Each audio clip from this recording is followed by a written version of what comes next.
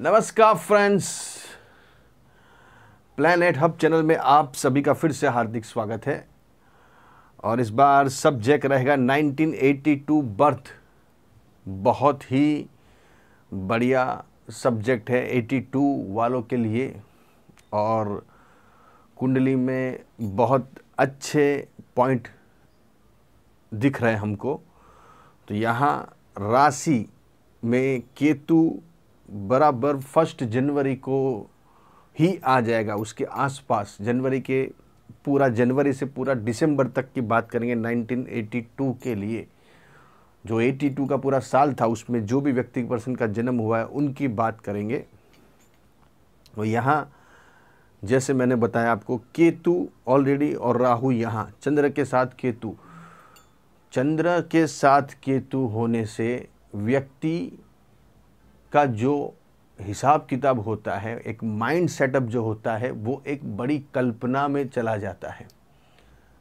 कल्पना का मतलब होता है बड़े सपने देखना। कल्पना मतलब सपने।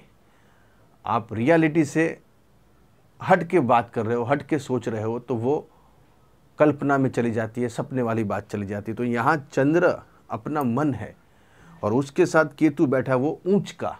केतु जब ऊंच का बैठता है तो ऐसे व्यक्ति पर्सन की सोच जो है, वो दुनिया से अलग होगी। ऐसे व्यक्ति पर्सन दुनिया से परे होंगे। परे मतलब जो व्यक्ति पर्सन दुनिया में लोग जो है, वो एक आम तरह की सोच रखते हैं। सुबह उठे, नहाए, धोए, पूजा पाठ किया, जॉब पे गए, बिज़नेस पे गए और चले आए। एक नित्य क्रम है, लेकिन इनकी जो सोच रहती है वो दुनिया से हट के रहती है, वो दुनिया से कुछ अलग कर दिखाने की बात करते हैं, अलग करने की सोच रखते हैं, दुनिया में कुछ करके जाना है, कुछ भी ऐसा करना है जो दुनिया में अपना नाम रह जाए।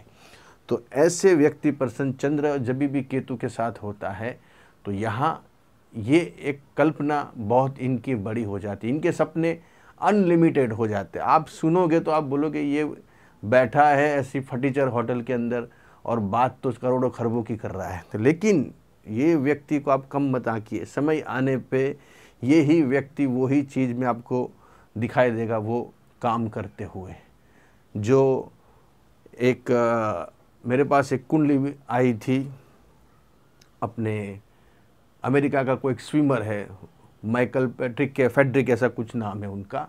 उनकी कुंडली मैंने थोड़ी संशोधन मतलब उसके ऊपर थोड़ा रिसर्च किया था तो उनकी कुंडली में भी चंद्र केतु साथ में था और राहु ऊंच का था।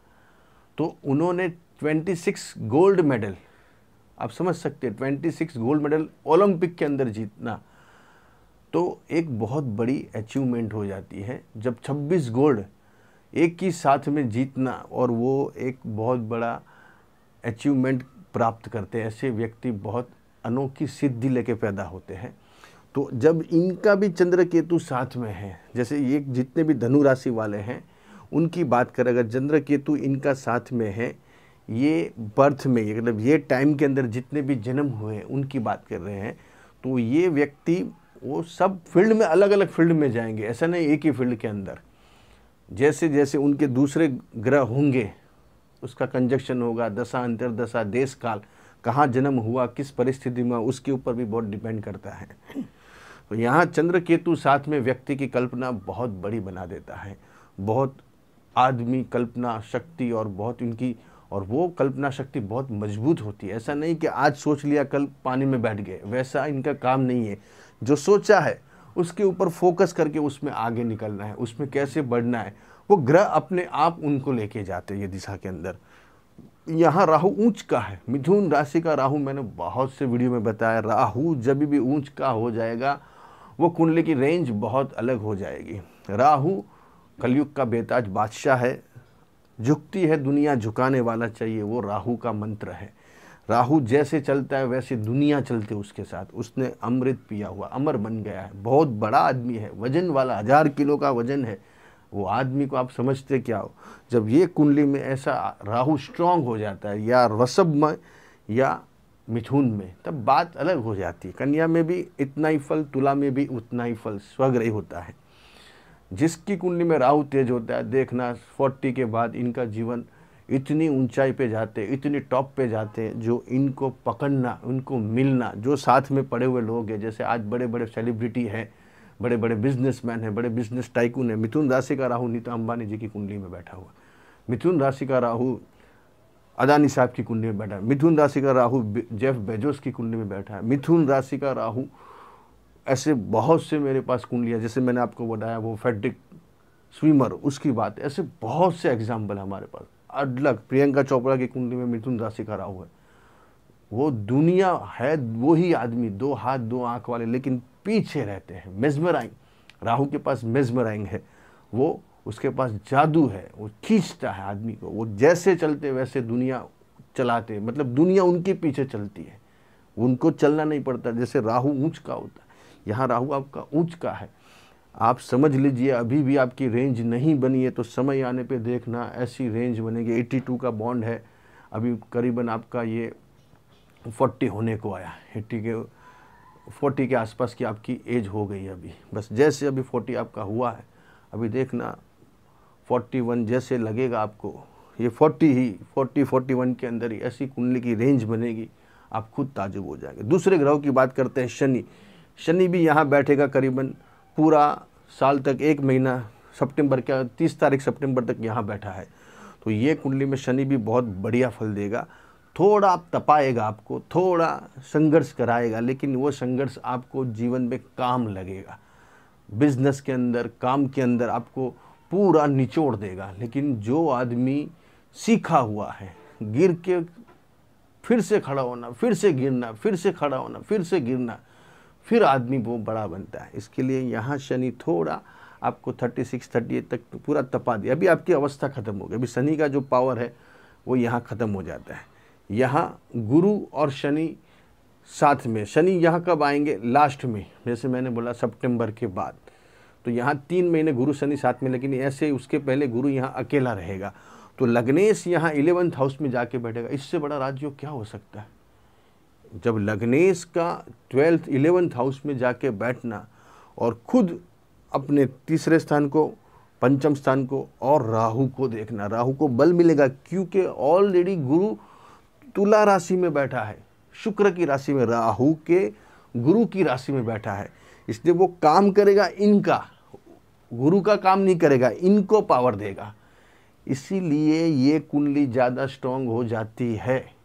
आप समझिए मेरी बात को, अगर आपके दूसरे प्लैनेट्स भी स्ट्रांग है तो ये कुंडली में बहुत बड़ी रेंज बन जाएगी, बहुत ताकत आ जाएगी। क्योंकि गुरु इतना तेज, वो भी तुला राशि में, शुक्र की राशि में। अगर आपका शुक्र बहुत बढ़िया है, जैसे प्रियंका चोपड़ा जी का शुक्र, बुध और राहु तीन प्लैनेट्स यहाँ बैठे हैं, मिथुन लग्न के अंदर तो शुक्र तेज हो गया। तो गुरु, बल मिलेगा, गुरु उसको बल देगा। और कौन सी राशि में ग्रह बैठा है और वो किस तरह से बैठा है, उसके ऊपर बहुत मायने रखेगा। जैसे ये गुरु, खाली गुरु गुरु का धर्म नहीं निभाएगा, लेकिन वो कौन से घर में बैठा है, वो मायने मेन रखेगा। अब बोलोगे, गुरु तो अलग बात है, गुरु देवों का ग्रह है, ये तो दानवों की राशि में जाके बैठ गया, लेकिन कोई भी राशि में जाके बैठा है आखिर उसको काम करना है। उसको ड्यूटी दी गई है कि आपको काम करना है।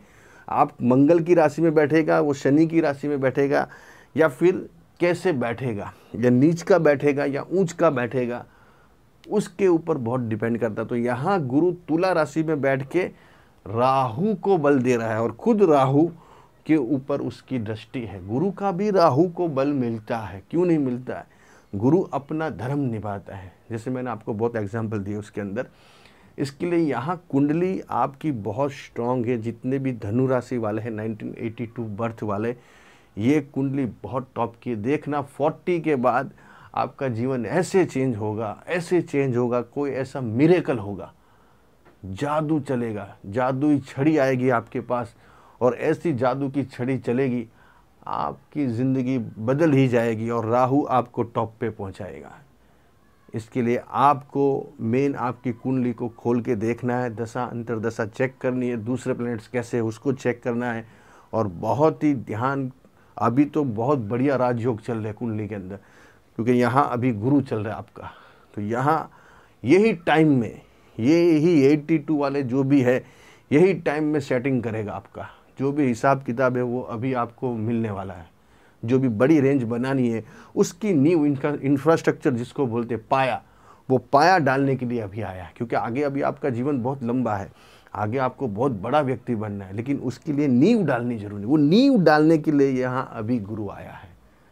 और देखना, साल भर के अंदर आप याद करोगे कि गुरु जी आपकी बात में बहुत पावर था, वो दम था। ऐसा काम बनेगा, आपका ऐसा बनेगा, कुंडली की हिसाब किताब चेंज हो जाएगा आपका। ऐसे और क्यों लेके आऊँगा? तब तक के लिए नमस्कार।